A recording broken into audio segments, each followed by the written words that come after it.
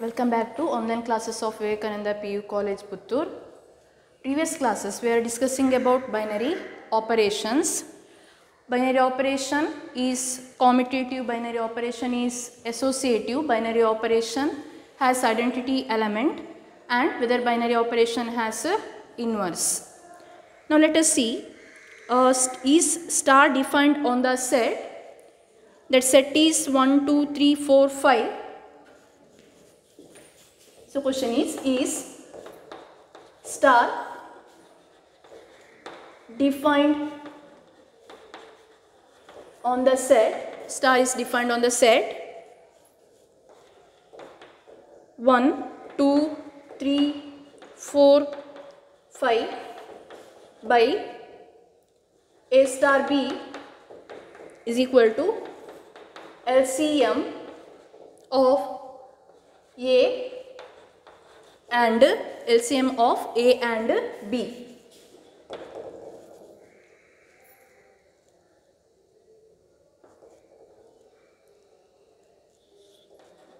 Is a binary operation. Okay, star defined on the set uh, set 1, 2, 3, 4, 5 given by A star B, A star B which is equal to LCM of A and B whether star is binary operation. Okay, to decide star is binary operation, we have to write here star is LCM now. Using operation table I can write 1, 2, 3, 4, 5. 1, 2, 3, 4, 5 and here I have to write 1, 2, 3, 4, 5. Okay, now star is LCM that we have to remember. Uh, now we have to fill this operation table that is by taking LCM and we have to decide whether star binary operation is uh, whether it is a binary operation or not a binary operation. Okay, now LCM of 1 and 1. So, what is LCM of 1 and 1? Which is equal to 1. Now, LCM of 1 and 2, here I have to write which is equal to 2. LCM of 1 and 3, star is LCM, 1 and 3 that is equal to 3.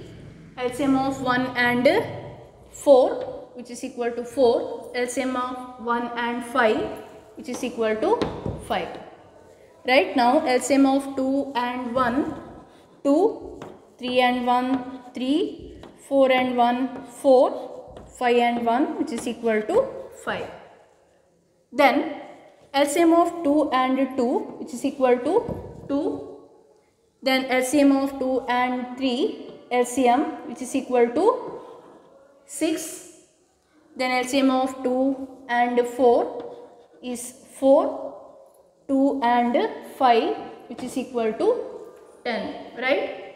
Then in the same manner 3 and 2 6 then 3 and 3 3 3 and 4 which is equal to 12 3 and 5 15 then 4 and 1 uh, sorry 4 and 2 4 4 and 3 this way we have to write. Okay. 4 and 3 here I have to write 12 4 and 4 I have to write 4 4 and 5 that I have to write 20 and 5 and 2 10 5 and 3 15 5 and 4 20 then 5 and 5 which is equal to 5. Uh, this is table which is ready now. Okay, now you can decide that or you can see that here elements are that is uh, if I choose uh, 3 star 2. What is 3 star 2? 6. But whether 6 that belongs to that set, how this uh, binary operation, suppose it is binary operation, how it is defined? That is defined from the set cross set to this set right star is defined from this set cross this set. Or if I take A, A is equal to this set. 1, 2, 3, 4, 5. If it is A, then how binary operation defined star from A cross A to A, star from A cross A to A. That is defined. Therefore, now A cross A to A means that A star B must belongs to this set, right? A star B belongs to that set.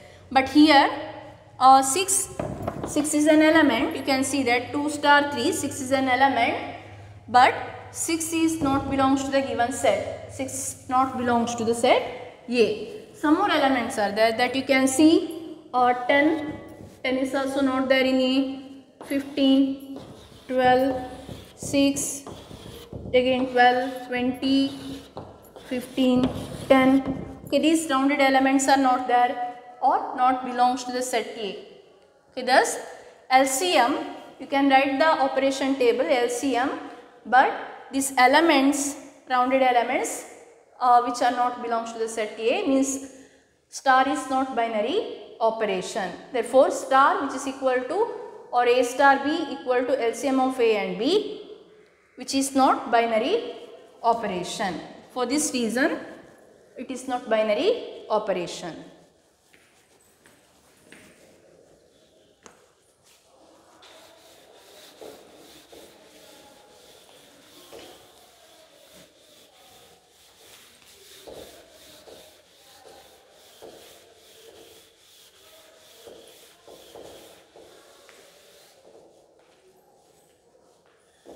Okay, uh, next let us see.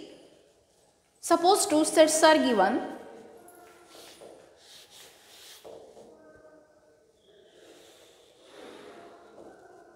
Okay, that is a set A, second set B, set A and set B are given. Now imagine that this set, first set having m elements having m elements and this set having n elements. N number of the elements. Therefore uh, set A having m elements set B having n elements. Then how many number of the functions possible from set A to set B?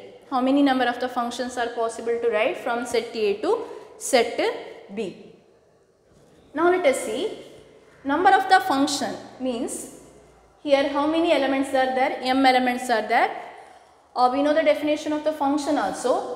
Now 1 can map to 1 or 1 can map to 2 1 can that map to n right? That means I can write arrow mark. So 1 maybe goes to 1 or 1 maybe goes to 2 or 1 may goes to n. So these are the possibility for first element. Therefore, what are the possibility for first element? Here I will write that is 1. How many elements are there? Total m elements are there. So 1, 2, 3 up to m elements are there. Then what are the possibility for the first element? First element having n possibility, right? n possibility. Then what about second element? Second element okay second element. I can write 2 goes to 1 okay already if I think 1 goes to 1 then 2 goes to 1 that is also possible. So if I write 1 goes to 1 now if I write 2 goes to 1 that is also possible. That is a function but it is not 1 1 but still it is a function. So I can write 2 goes to 1 2 goes to 2 2 goes to 3 2 goes to n. So what are the possible for the second element? That is Cn. Then similarly what are the possible for the third element that is also n right that is third element 3 imagine 3 goes to 1 3 goes to 2 like 3 goes to n. So possibility for the third element also n. Okay, similar way we can write what is the what are the possibility for the nth element that is also n. Okay. Now, n into n, n square, n cube like that, that is n power m. So, answer is n power m. So how many number of the functions are possible to write? n power m number of number of the functions possible to write. Therefore, set A having m elements, set B having n elements, then n power m number of the functions are possible to write. n power m number of the functions possible to write. Okay, that is the first thing.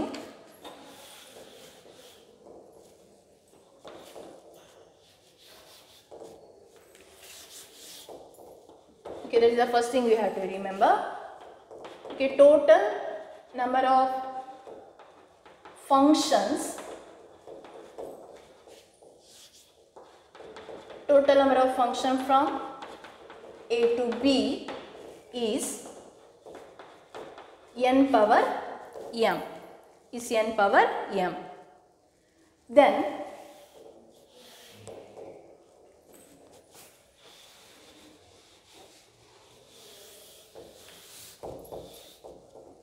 Okay, now consider same set A which is having m elements.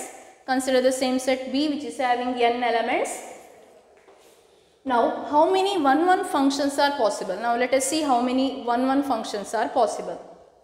Okay, 1 1 means suppose if I take for example, here I will take 3 elements. First set, second set I am taking 2 elements. Then what happens? Let us see. If 1 goes to 1, 2 goes to 2. Then I have to write mapping for 3, mapping for 3. Now I have to write either 3 goes to 1 or 3 goes to 2. Only two options there for me that is either 3 goes to 1, 3 goes to 2. That means if I write more number of the elements in the first set and compared to that uh, less number of the elements in the second set then 1 1 not possible. That means here I took m element for the set A, n elements for the set B. So m greater than n, I am telling for the second one, m greater than n. What happens then? No 1 1 functions are possible, right? m greater than n, then no 1 1 functions are possible. That means I have to write, if I write m is equal to n, then possible.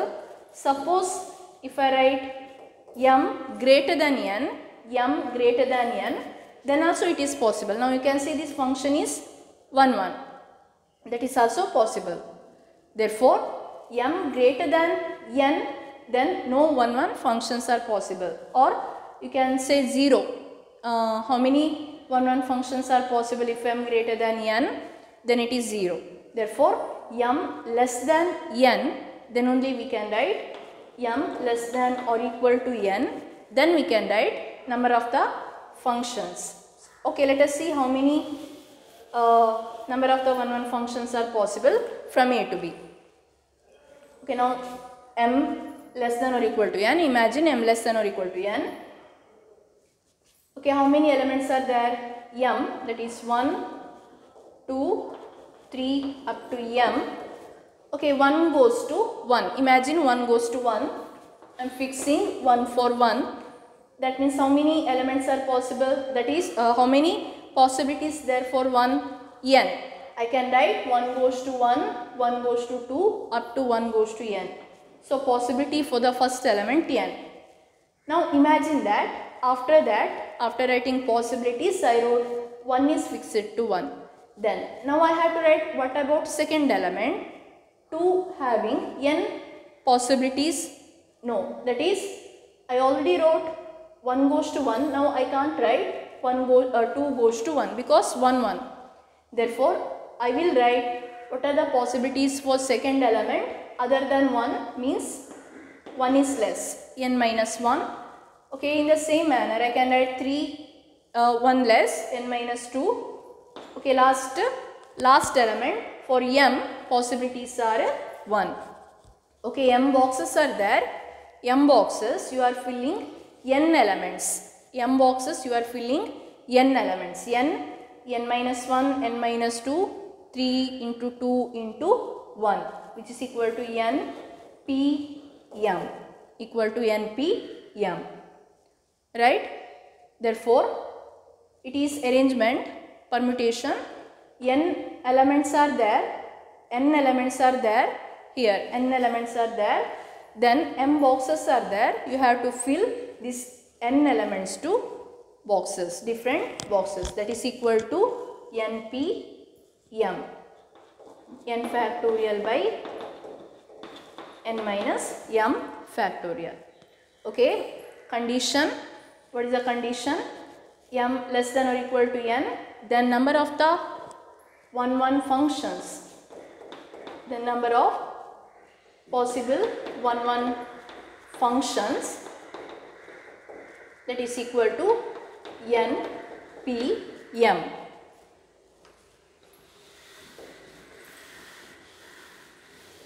Okay now how many onto functions are possible? Suppose uh, n of a equal to m n of b equal to n then how many onto functions are possible? Okay suppose if i write here three elements here only one elements clearly m greater than n. Then what about this? So 1 goes to 2 i can write 2 goes to 1 3 goes to 1 therefore if i write m uh, less than n then onto possible. Now this is onto possible.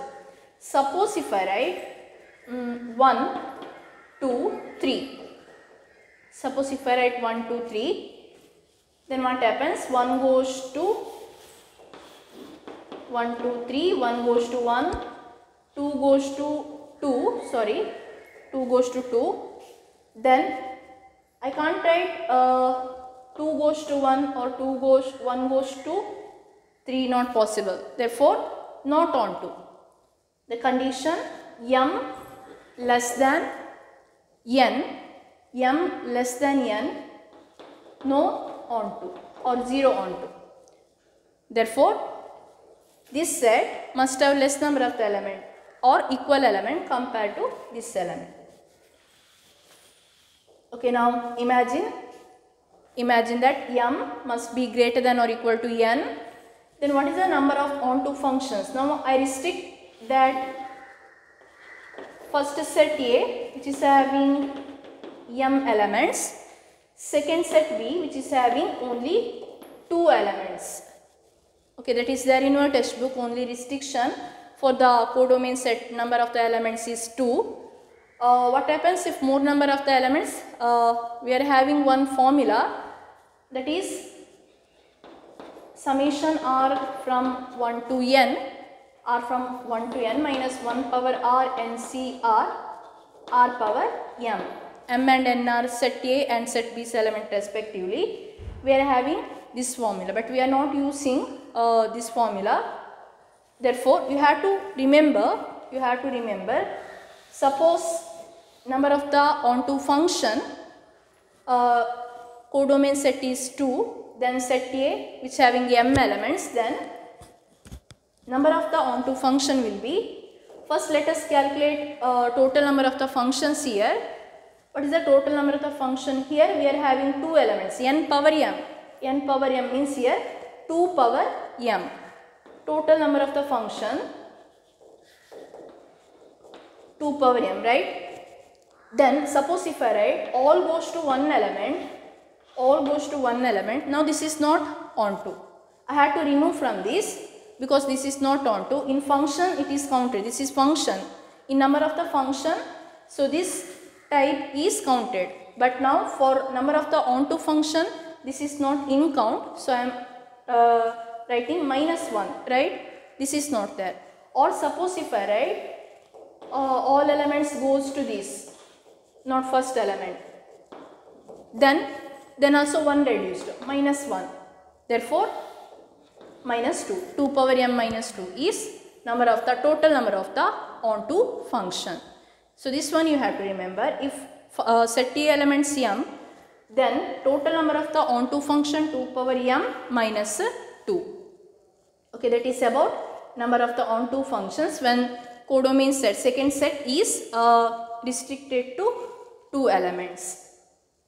Uh, okay now what happens if uh, both set A and set B are having same number of the elements? Set A and set B are having same number of the elements. Now m and n are equal, m and n are equal, then uh, we can write bijective functions, number of the bijective function. That means bijective means function must be 1 1, function must be onto, then that function is said to be bijective. If m is equal to n, then only we can write number of the bijective functions. Otherwise, you know that m greater than 1, no 1 1, m less than 1, m less than n, then no onto. Therefore, m equal to n, then only we have uh, number of the bijective functions. Therefore, if imagine m equal to n, then I can write 1 goes to 1, 2 goes to 2 or anything in any ways one element to one element. Therefore, what is the what is the number of bijective function that is here total number of the elements m. Then n means uh, for first element n possibility.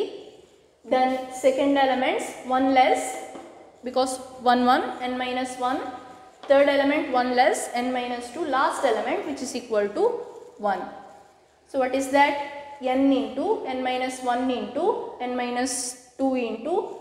At last 3 into 2 into 1 which is equal to n factorial. Here m is also same. m is equal to n. That is n boxes you have to fill n elements right? n boxes you have to fill n element. Therefore n factorial. You have to write n factorial. Okay that is about the fourth one. That is number of total number of bijective functions that you have to remember which is equal to n factorial or m factorial also possible either n factorial or m factorial. Okay that is about uh, functions number of the functions n power m then number of one one function number of one one function condition is there npm then number of the onto function if codomain is uh, set restricted to 2 2 power m minus 2 then number of the bijective function n factorial. Okay same way we can write number of the binary operations. Number of the binary operation means uh, that is imagine that that set having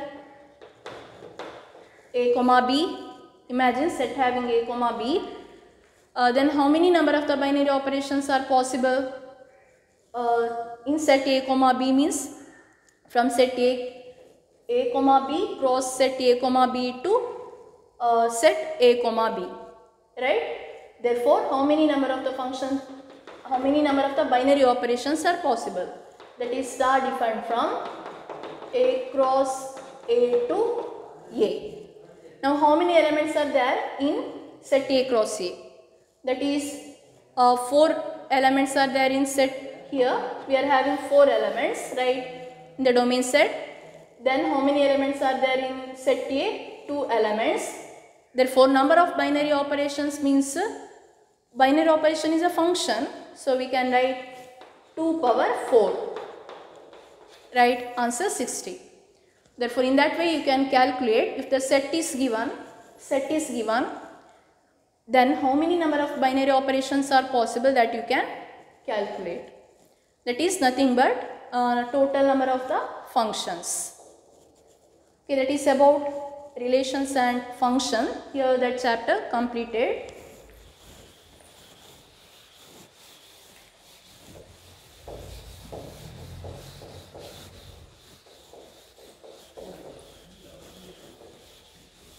Okay from this chapter uh, we can see